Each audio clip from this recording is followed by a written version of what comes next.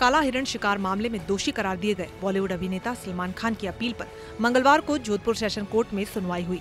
सलमान खान की इस याचिका पर कोर्ट में तीन घंटे तक सुनवाई चली।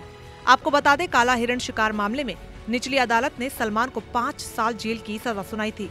निचली अदालत ने हम साथ साथ है फ़िल्म की शूटिंग के दौरान साल उन्नीस सौ अट्ठानवे अक्टूबर में कांकड़ी गाँव में दो काला हिरण का शिकार करने के जुर्म में अभिनेता को गत पाँच अप्रैल को दोषी करार दिया था।